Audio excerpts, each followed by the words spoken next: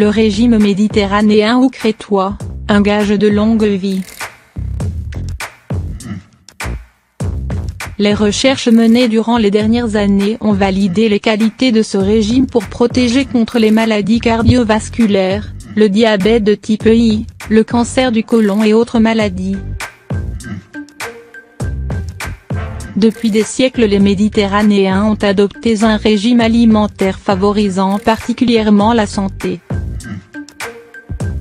Les recherches menées durant les dernières années ont validé les qualités de ce régime pour protéger contre les maladies cardiovasculaires, le diabète de type I, le cancer du côlon et autres cancers, la maladie de Parkinson. Ce régime préviendrait également le vieillissement du cerveau. Une étude menée en Espagne a démontré que les hommes et les femmes entre 65 et 80 ans qui suivent un régime alimentaire de type méditerranéen ont 31 moins de risques de décéder dans les 9 années suivantes. Ce régime est propre de certaines régions de la France, de l'Italie, de l'Espagne, du Portugal et autres pays limitrophes au bassin méditerranéen. Aliments de base du régime méditerranéen.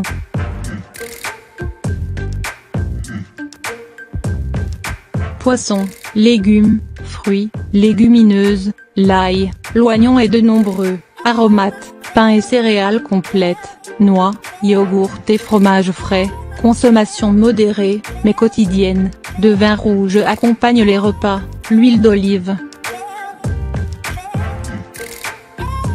Ce régime contient très peu de viande rouge, de sucre ou d'aliments transformés. Les corps gras sont autant présents dans ce régime que dans le régime occidental moderne, mais ce sont essentiellement des gras monoinsaturés sous forme d'huile d'olive, de noix et de poisson. Ce sont majoritairement des bons gras, essentiels à la santé. C'est un régime qui est particulièrement adapté aux personnes souffrant de cardiopathie ou de diabète de type I. Ce régime associé à une activité physique régulière est certainement un passeport pour la longévité et la santé.